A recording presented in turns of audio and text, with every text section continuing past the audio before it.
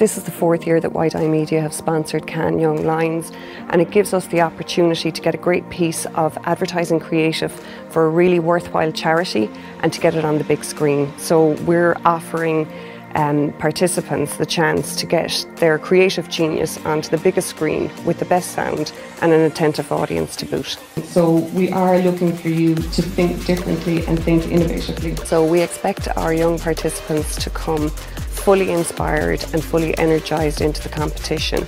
There's plenty of work to look at with great inspiration, but they only have 48 hours in which to conceive, uh, shoot and edit the piece of advertising creative. So they need to come ready, willing and able.